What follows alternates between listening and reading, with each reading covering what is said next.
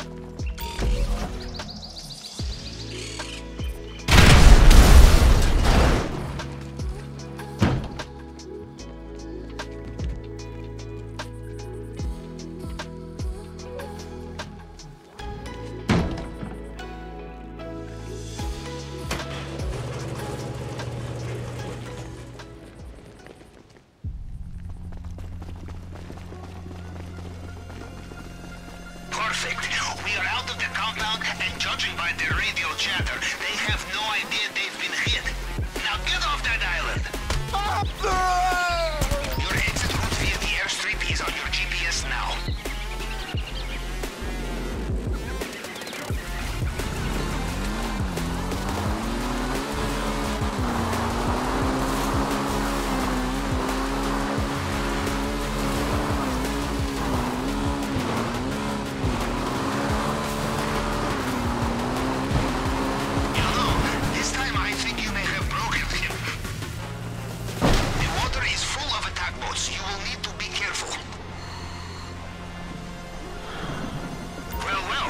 Judging from their comms, it sounds like Mr. Rubio is reaching for his helicopter again.